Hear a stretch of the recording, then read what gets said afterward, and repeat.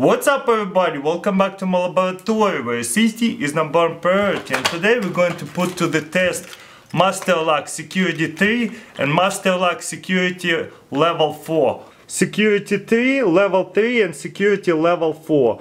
They mostly used for the lockers in school or at the gym, nothing that you will lock overnight where there is no people. And I'll show you why you don't want to use it on a garage or something that you don't attend or like lock it for very long time. They're just really easy to hack into. So today we're gonna open these locks with a torch. Okay, master locks. Let's put it to the test. Let's light it up with the torch and let's see if it's actually going to survive.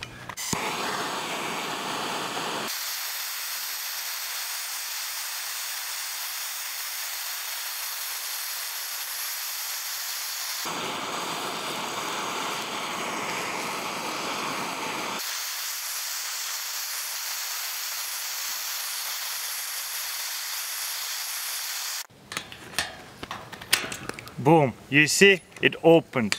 About under a minute, that lock completely burned out inside of it. And all I used a little handheld torch, so anybody can get it. It's cheap and easy. So that was easy to melt it too I wouldn't touch this part, it's super super hot. Check this out, all that melted metal from the lock. Super easy to open it with the torch. Quiet and easy, wow. So combination lock was security rated 3, but this time we're going to do security rated 4. A step higher, let's see what it will do. I think it will melt just as easy, maybe even easier. Let's check this out. Security rating 4. Oops. Let's see how hard it is to break the key inside of this lock. So easy to open it with the key, but if you twist it the wrong way, Look how easy it is to break that key. Now my key is broken to open this. How do we open this key? Super simple without making too much noise and breaking other stuff.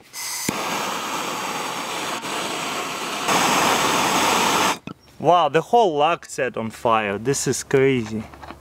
Can you even see?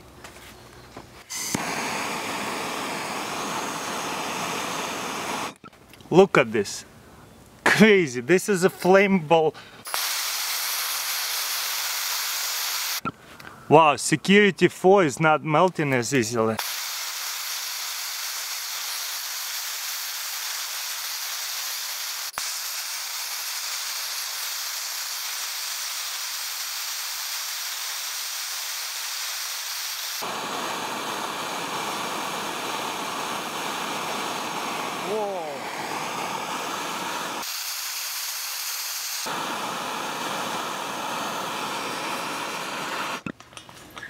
Boom! Whole lock just fell off.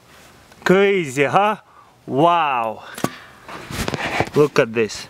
It just melted off all that metal super super hot. So this is the only piece that have left from that other security 4 lock. It completely melted all the way. This is it right here. Security 3 lock only melted from the inside. You be the judge which lock is stronger. Check this out, this is what have left from this lock, the second lock. Pretty insane, right? Completely melted. Under a minute. By the way, this is super super hot. This is why I'm wearing welding gloves.